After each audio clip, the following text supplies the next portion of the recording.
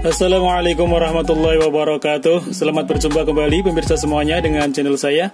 Oke, pada kesempatan kali ini saya akan berbagi bagaimana caranya menyempitkan ataupun melebarkan gambar di televisi setelah mengganti playback Biasanya kalau playbacknya tidak tepat ya Karena banyak playback yang KW Gambarnya menjadi melebar. Ini lambang atau logo Antv Cuman terlihat seperti ini Nah, RCTI ini cuman tulisan CTI saja, sementara R-nya tidak terlihat. Terlihat Indosiar juga ini tidak penuh, ada yang hilang ke samping. Oke, kita bongkar TV-nya. Oke, sudah kita buka TV-nya. Untuk mengatasi gambar melebar ataupun menyempit, kita bisa memainkan induksi ya. Sistem induksi dari Ferit Playback ini kita kasih lilitan kabel atau bisa juga dengan menggunakan email tembaga. Bekas defleksi yok juga bisa. Namun pada kesempatan kali ini saya akan menggunakan kabel saja supaya lebih mudah didapat. Ini saya gunakan kabel seperti ini. Oke caranya dengan melilitkan kabel di ferit playback seperti ini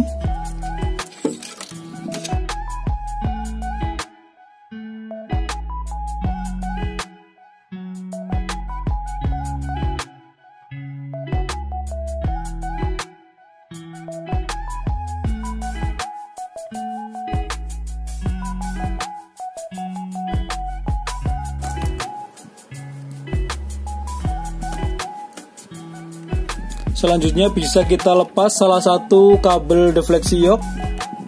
Bisa horizontal plus, bisa horizontal min ya. Terserah maunya yang mana. Kita bisa menggunakan kabel biru, bisa pula menggunakan kabel yang merah. Untuk kali ini saya pilih kabel yang merah saja. Kita putus di sini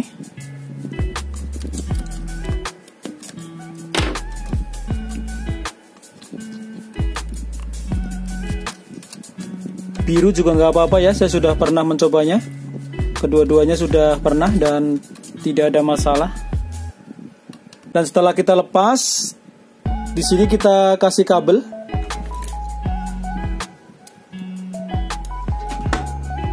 Ya seperti ini pastikan sudah kuat kita tarik. Oke kita lihat ini tadi kabel dari asli bawaannya yang ke defleksi yok yang kita lepas.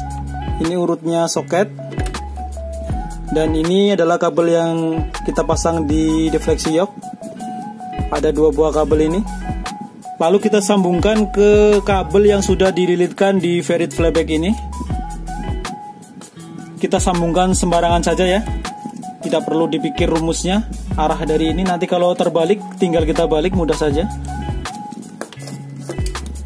Karena kebalikan dari melebarkan adalah menyempitkan jadi jika terbalik nanti kelihatan gambarnya akan melebar atau menyempit sesuai dengan yang kita inginkan.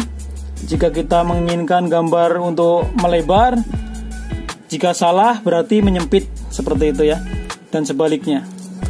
Kita tinggal membalik kabel ini nanti jika tidak sesuai keinginan. Oke, sudah kita sambung seperti ini. Ini dari soket ya melewati lilitan dulu baru ke defleksi yok sini.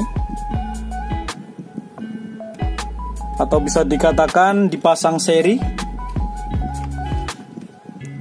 Dipasang seri menggunakan kabel yang sudah dililitkan ke ferit seperti itu. Oke kita lihat seperti apa hasilnya. Nanti jika tidak sesuai keinginan kita balik kabelnya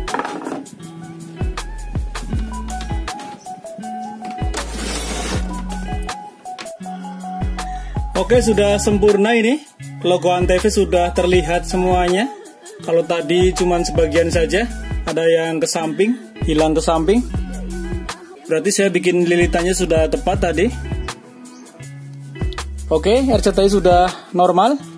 Kalau tadi cuma terlihat CTI saja. Oke cara ini sangat aman ya Daripada mengganti atau merubah nilai kapasitor Karena itu berpengaruh di ampere horizontalnya berpengaruh di kinerja rangkaian horizontalnya. Tapi kalau ini cuma berpengaruh di induksi bias lebarnya saja atau lebar gambarnya dan itu yang kita butuhkan. Dan untuk menyempitkan atau melebarkan kita tinggal membalik kabel ini saja ya. Ini kita balik saja jika tidak sesuai keinginan. Ini fungsinya untuk melebarkan dan menyempitkan gambar ke samping. Oke, semoga bisa bermanfaat untuk kita semua. Wassalamualaikum warahmatullahi wabarakatuh.